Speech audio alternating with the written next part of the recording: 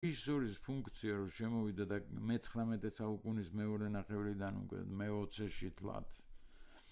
აი უკვე ურეჟისორო ძნელი წარმოსადგენია თეატრი, დრამატიული თეატრი, საოპეროც.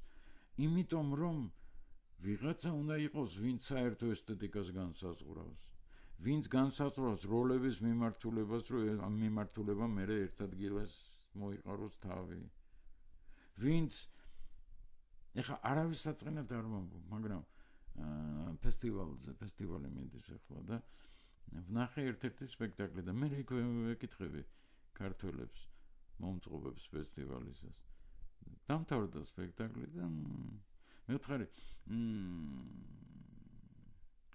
ეს მეთქი აი მან დადგა თქო ერთ-ერთ გმირს რო თამაშობს იქ. ხო, აჰა. მაგის დადგმულია ხო სპექტაკლი ხო? ეგ მეთქი მსახიობია ხო მსახიობია როგორ მიხდეთ იმაზე მივხვდი რომ სპექტაკლი ყველაფერზეა და არაფერზე არ არის ამიტომ. არ შეიძლება რა თავში მოგივა ყველაფერი გააკეთო ერთ სპექტაკლში ნუ ეს შეუძლებელი რამ არის? ესე იგი რატომ მსახიობს კი არ ვლანძღავ ამ შემთხვევაში რეჟისორ თუ რეჟისორას წავიდა კეთილინებოს თავი ახალოს იმდენი და ისწავლოს ხელობა რაც თავში მომივა ის არ არის რეჟისორი